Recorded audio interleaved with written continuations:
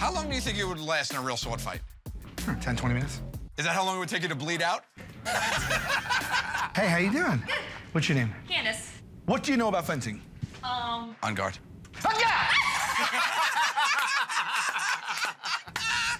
All right, so we haven't really started yet. I just like to stretch for a minute before we start. Try to be as gelatinous as possible. I do a little one up top, uh, just like. Here it goes.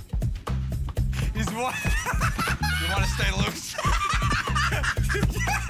Just stay loose. You want to just stay loose? How does your body move like that? You want to try it? all right. okay. His glove fell